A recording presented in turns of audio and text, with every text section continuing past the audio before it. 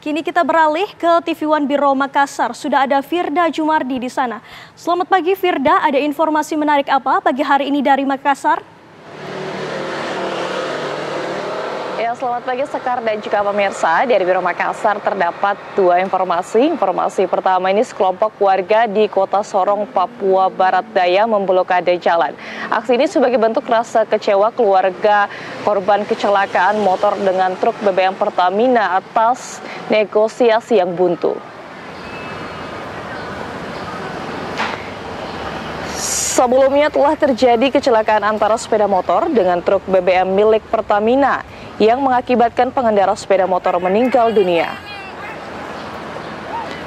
Atas peristiwa tersebut, keluarga korban meminta pertanggungjawaban pihak Pertamina Sorong dengan menentukan uang denda senilai 5 miliar rupiah. Namun pemerintahan keluarga korban tidak dipenuhi sehingga keluarga korban melakukan aksi blokade jalan dan membakar ban. Aparat kepolisian yang tiba di lokasi memberikan himbauan kepada masa untuk menghentikan aksinya. Kemudian petugas bergerak membuka blokade jalan agar jalan kembali bisa dilalui warga lainnya.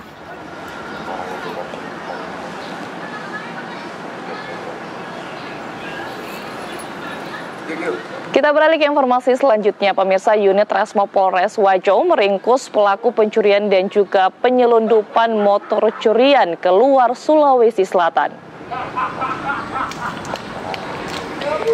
Berbekal rekaman CCTV, polisi meringkus Lika 40 tahun pelaku pencurian sepeda motor yang terjadi di daerah Majauleng. Pelaku diringkus di daerah Tocaming, Kelurahan Siwa, Kecamatan Pitum, Panua. Polisi kemudian melakukan pengembangan. Saat hendak ditangkap, tersangka berusaha kabur dan terpaksa dihadiahi timah panas di kakinya. Di depan polisi, tersangka mengakui sudah beberapa kali melakukan pencurian motor. Bukan hanya di Kabupaten Wajo saja, tetapi juga di Kabupaten Sidrap dengan modus mengincar sepeda motor yang kuncinya masih menempel saat diparkir atau ditinggal pemiliknya saat masuk ke dalam toko berbelanja. Agar tidak terlacak, pelaku kemudian menyelundupkan motor curian tersebut ke daerah Morowali, Sulawesi Tengah dan menjualnya dengan harga satu juta setengah hingga 3 juta rupiah. Polisi kemudian mengamankan 24 sepeda motor hasil curian sebagai barang bukti.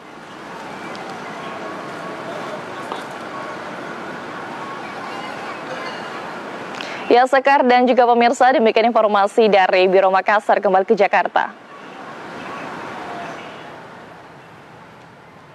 Baik, terima kasih Firda. Informasinya dari TV One Biro Makassar dan sebelumnya juga ada Danita dari TV One Biro Yogyakarta. Selamat bertugas kembali rekan-rekan.